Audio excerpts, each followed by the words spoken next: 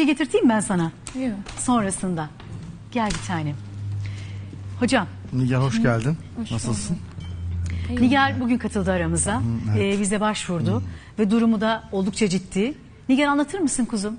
Biraz yüksek sesle. 3 yıldır rahatsızım. Ee, ancak 9 aydır 30-32 arası değişiyor kilo. 30 kilosun şu anda evet. Bulimiye nervosu olduğu söyleniyor. Ya, kusman var mı peki? Kusmam Kendi var, mi kusuyorsun? Yani parmaklayıp mı kusuyorsun? Yok her zaman değil. Yani çok katı yediysem eğer Çok katı boğazıma yediysen, takıldıysa Evet, evet, hani yardımcı oluyorum kendim ama genel olarak parmaklayarak kusmuyorum. evet. Emine Hanım anneniz. Evet. Anneniz. Adet düzensizliği oldum Nigar. Ee, iki yıldır olmuyor. Evet tamam.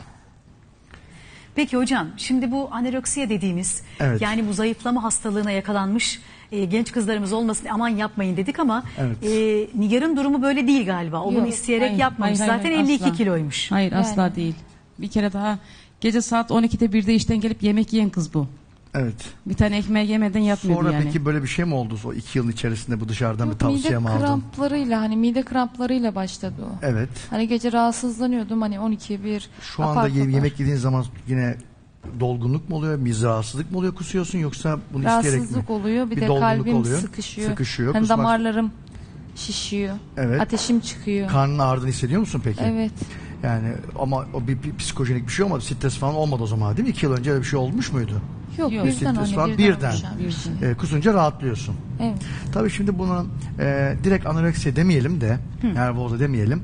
Acaba bir midesinde bir şey mi var diye bir bakmak lazım. Yani başka Hocam, bir bakıldı mı? Endoskopiler falan burada. yapıldı mı? Endoskopiler falan. Hepsini göstereceğim kağıtlarımız size var Bakalım biz onlara. E, endoskop. Onlarda bir şey var mıydı Nigar? Ee, les gevşekliği, Nasıl? les gevşekliği, Evet, tamam. alkalen reflü gastrit. Alkalen reflü gastrit. Ama başka bir başka bir Ne şey demek yoktu. onlar bize anlatın. E şöyle yani e, reflü problem varmış. Alkalen reflü dediğimiz pankreas ve safra sıvısının yukarı gelmesi. Normalde mide sıvısı yukarı geliyor. Yani yedikçe tekrar yukarı doğru Bu geliyor. asit reflü değil de pankreastan safranın gelmesiyle. Zaten o kusmaya bağlı bir reflü. Safra kesesinde de taşlar var. Ama yine. safra kes taşlar hızlı zayıfladığın için oluyor. Hızlı zayıflayanlarda ve hızlı kilo alanlarda safra kes taşı Hmm. olur. O normal onun olması. Ama bir başka böyle bir başka bir kötü bir şey yoktur herhalde değil mi endoskopilerde? Duvarında kalınlaşma var. Bağırsak duvarın kalınlaşma mı var? Evet. e, ben Ocak ayında onu şey yaptırmıştım. Orada yatırdım. Bağırsak Ee, duvarın orada endoskopi, kolonoskopi endoskopiler söylemişler. MR çekildim peki karın MR'ı. Kolonoskopide. Kolonoskopi yapıldı. Evet. MR çekmediler. Evet. E, Çektirelim dün, bugün biz oradan bugün oradan buraya indik Şimdi biz. anoreksiya demek için e, başka diğer sebepleri e, dışlamak yani başka işte bir tümör işte bağırsakta duvarında bir çölyak şudur budur bir sürü hastalık var. İshalin var mı senin? Yok ilaçlarla bağırsak ilaçlarıyla hani. Evet ama bağırsak duvarında bir kalınlaşma söylendi. Evet. Bunları tekrar bakıp her şeyi ekarte ettikten sonra çünkü rahatsız olup Siz o söylüyor. yüzden mi Nigar'a sordunuz? Evet. Nigar hiç nişan, düğün bir şey oldu Yok, mu hayatında? Asla asla. Kız asla demez. Dur bir konuşma öyle dur. Sanki hiç kızı vermeyecekmiş gibi konuşuyorsun. Keşke olsun da geçsin Zahide Hanım. Keşke, Keşke. tabii. Ben de istiyorum. Ben her gün ona Yok, öyle gece bir gündüz ağlıyorum şey onun için vallahi. Ağlama ağlama. Bak anneler ağlayınca bizim yüreğimiz dağılıyor. O yüzden yapma öyle. Sarıl kızına. Bak yanında Allah'a bin şükür. Burada bin bir türlü hastalık görüyoruz biz ama finalde iyileştiklerini de görüyoruz inşallah. İnşallah. Hay dedim yani e, annenin yanında Öleceğim diye soruyorum. korkuyor yani Ben birden geceleri gider kalkıp falan ona dediler. bakıyorum nefes El ve alayım ayakları alıyorum. şişme oldun peki? Ben de aynısını şimdi oluyor. çocuğuma Ha? yapıyorum biliyor musun? Şişme oluyor Nerede oluyor? bacaklarımda. Bacaklarında. Şimdi çünkü küçük ödemler oluşuyor. çünkü protein kaybı olduğu için bir süre sonra da e, protein kaybına bağlı el ve ayaklarda ödem oluşuyor. Çünkü protein suyu damar içinde tutuyor. Protein kaybına Yani bağlı zayıflayınca da zayıflayınca ödem da oluyor. ödem olur Hani hep çünkü. kilo alınca da ödem Tabii. diyoruz ya. Evet, Var o da olur. Zahide'nin bacaklarında var yani. Var ödem. Sonra biraz vitamin eksikliği gelişmiş. Dudaklarının kenarında çatlaklar var görüyorsunuz. Saçlarım o da saç işte demir eksikliği, B12 kırılıyor. eksikliği eşlik ediyor. Yani Dişlerim full bir endoskopisini tekrar yapıp karın MR'ını çekip diğer Yapalım. sebepleri ekarte edip O zaman ekarte etmekten bahsetmişken bir de olayın psikolojik boyutu var. Yani bunun o psikolojik boyutunu da çok ciddiye almak lazım. O yüzden klinik psikolog e, Zozan Başçı şu anda telefon attığımızda. Zozan Bey merhaba. Merhabalar. Hoş geldiniz. Hoş bulduk. Hanım. Ay özür diliyorum. Ee, peki şimdi biz e, 27 yaşında Nigar ama bir türlü kilo alamıyor. Hızlı kilo vermeye devam ediyor. 30 yaşında. İzleyebildiniz mi ekrandan? Ee, yani şu an hastanede olduğum için e, çok fazla takip edemedim ama e, biraz bilgim var Nigar Hanım'dan. Peki tam duyamıyorum ben sesinizi ama bu fotoğraf atsayım mı ya geçenler?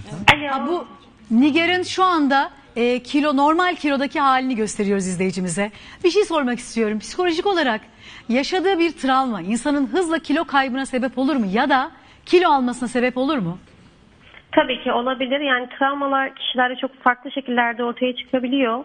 Ee, bu durum ya kişinin çok fazla kilo kaybına ya da tam tersi çok fazla e, yemek yeme e, durumları ortaya çıkabiliyor kişide.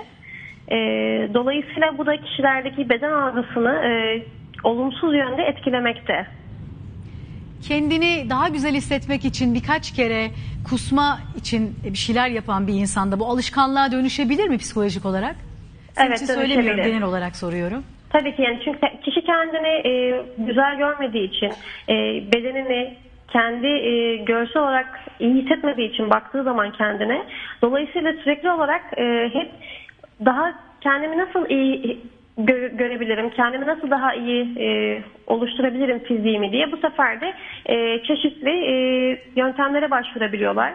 E, bunlar da bizim en çok sık karşılaştığımız işte e, zorla kusmak gibi e, durumlar söz konusu olabiliyor kişilerde. Peki Nigar sorun varsa eğer sorabilirsiniz Ozan Hanım'a ya da annemiz siz sorabilirsiniz. O hani e, hani, hani güzel görükmüyorum şeyin falan dildiği burada resmi görüküyor zaten onun. Evet çok da Ee, güzel. evet o hiçbir zaman sıkıntısı yoktu yani hiçbir gün demedi bana kilom var kiloluyum mesela zayıflamak istiyorum asla asla gece çalışıyorduk tekstilde 12'de gelirdik eve yemek yemeden yatmazdı yani bir de, bir, bir de olsa yemek yiyip de yatacak yani öyle bir çocuktu. Yani iştahla ilgili bir sıkıntısı yoktu. Yok Kilo ile ilgili şu anda da yok. çok Zahide Hanım şu anda da yemek bazen günde üç kere yiyor. Ne ama diyorsun ya? yemek Üç kere yiyor. Evet ama böyle yemek de, de ki e, yemeyeceksin bırak asla bıraktıramıyorsun ona. Şu anda da öyle. Evet Şey evet. onu tetikliyor ama tam olarak ne olduğunu Evet. bilmiyorum. Öyle Hani yemek yiyor ki yani 3-4 kişinin yediği yemeği yiyor yani. Görsen- Şu anki evet, haliyle. Evet, evet. Allah Allah hiç bana inanasım gelmiyor ya. Ya götür götür bak bir yere. Götür Ciddi bak. misin ya? 3-4 kişinin Götürürüm yediği yarın. Hatta bugün götürelim lokantaya yesin. Vallahi öyle inanamadım Yani yani. Hani, gö- hani ben şimdi söylesem belki sana yanlış iş gelebilir Yok de. estağfurullah siz ne diyorsanız Ama benim o başım üstüne tabii ben ki çünkü de. hep gördüğü şey yanımda olduğu için sürekli yanımda olduğu için biliyorum kızıyorum yani yeme diyorum çünkü kendine Peki o zaman bize müsaade de ederseniz şeye bir takip yapalım. Yani gerçekten var yemeğe götüreyim. yani ben de onu inşallah Ve tedavisi için kırmızı getirdim ete buraya. çok- İnşallah. Çünkü çok yerlere götürdüm. Yok e, bu hastalıktan Peki sonra kırmızı bizde pek çok doktorumuz var ve konuşalım. İnşallah. Bu arada bir şey soracağım. Sizin anne baba bir misiniz? Bir. Eşimle. Ha, evet, evet. E, Ee, berabersiniz. 34 senedir evliyiz. Maşallah Allah uzun ömürler versin. Amin. Ee, niye bunları soruyorum? Böyle evlilik finallerinde ya da anne baba ayrılıklarında hani bir sürü şey çıkabiliyor Allah ondan bin- soruyorum. Allah binlerce şükür olsun yani daha dünyaya gelsem yine aynı eşimle evlenirim. Bu ne şanslısın. O şekil, Neyi evet. değiştirmek istersin diye sordum az önce ne cevaplar verdiler duydun değil mi? Evet yok asla. Valla kocasını değiştirmek isteyen Yok, yüzde otuzluk yok. bir bölüm vardı yani. Yok asla. Ya da Allah binlerce hanımını. şükürler olsun ya Rabbime. Peki sizce Nigar'ın bu durumu niye oldu? Yani sizin gözlemlediğiniz bir şey var mı fiziksel durumun dışında? Zaten ha doktorlara göndereceğim. Yok asla hiçbir onun için bir şey bir şey düşünüp bulamıyorum yani. Ben de çok şey yapıyorum arıyorum ama bulamıyorum yani hiçbir şey öyle hani bir kendi mesela zayıflamak istemek istediğini mesela öyle bir şeyini hiç öyle birden öyle işte midesine kramp girdikten sonra bu hale geldi işte. İlk nasıl fark ettiniz peki? Kramp İlk zaten başladı? e, kendi söylüyordu anlatıyordu zaten mideme kramp girdi yemek yiyemiyorum korkuyorum hani bir daha girer falan diye. Yemek yedikçe mi kramp giriyordu? Yesem de yemesem de giriyordu ama Evet. yedikçe hani daha fazla tetikleyecek. Çünkü nefes Şu alamıyorum. acile götürdük yani kramp, kramp midesine kramp girince. Pazar gün bile hastanedeydik yani. Resmi de vardır burada belki. Bu pazar. Evet evet bu sabah geldik daha ordudan. Peki orduya da selam olsun.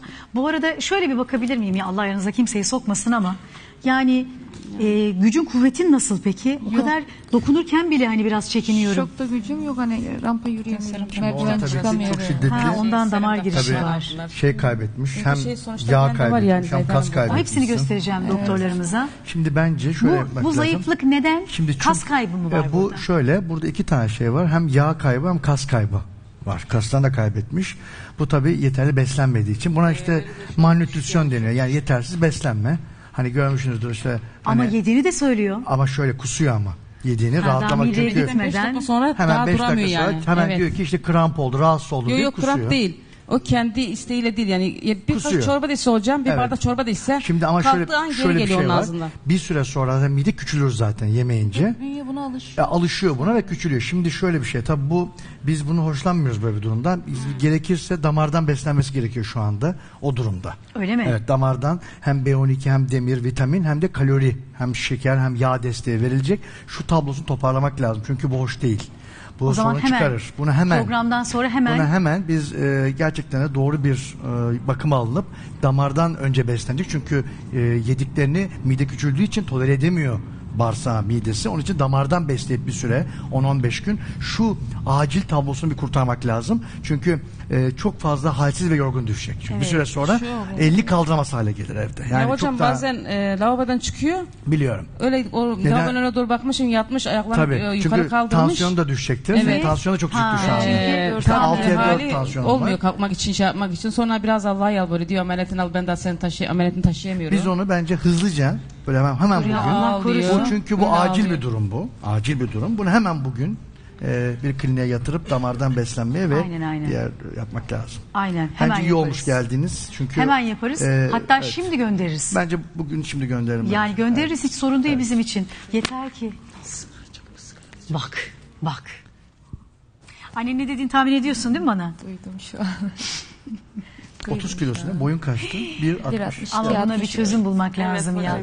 Önce bir toparlar. Damardan beslenerek gücü kuvveti yerine gelir birazcık. Sonra tetkikleri yapılır. Bağırsağında bir şey yok. Çünkü bağırsak duvarında kalınlaşma bu tablosu var ya protein eksikliği de nasıl ayağında ödem yapıyorsa bağırsak duvarında ödem yapar. O aldatıcı bir görüntü olabilir. Bir toplarsın biraz. Biraz damardan albüm falan verilir. O görüntü ortadan kalkabilir. Önce bir bütün beyin MR'ı dahil çekilip onları bir dışlayalım. Başka bir şey olmasın. En son anoreksiya nervoz tanısı koyarız zaten. Vallahi helal, helal kuzum. Bir şey söyleyeceğim. Ben seni çok tutmayayım. Ne oldu? Sen Yok yok bir aydan beri bile e, et türünü çok istiyor canı. Sadece ama her et, öğün et evet, yesin ama yok, yediği gitmiyor ki. Gitmiyor işte Orada ama bir sorun du- var. duramıyor yani. O her öğün olacak ona. Zaten nasıl biliyor Şey musunuz? yapacak yani. Kilo verdiğin zaman bağırsaklar da o verilen gıda şu anda emilimini yapamaz. Bir şey söyleyeceğim. Bence çok haklısınız. Evet. Sana şimdi seni hemen bir doktora hastaneye yönlendireyim. Evet. Şimdi göndereyim hatta. Tamam mı kuzum? Hemen acilden bir giriş hastaneye Aynen. yatış ve damardan hemen, beslen. Hemen damardan beslemeye başlasınlar. Aynen öyle. Çünkü böyle her an düşüp kalacakmışsın gibi geliyor. Yani ben de böyle tedirgin oluyorum. Neyse anacığın başında yanında en azından. Ben şimdi seni hemen gönderiyorum tamam mı? Arkadaşlar hemen bir araç ayarlayın. Gönderelim Hemen, hastanemize. evet. Hatta programın sonuna doğru görelim de hastanemizde. Tamam mı kızım benim? Tamam. Lütfen aklına kötü şeyler getirme. Saide abla.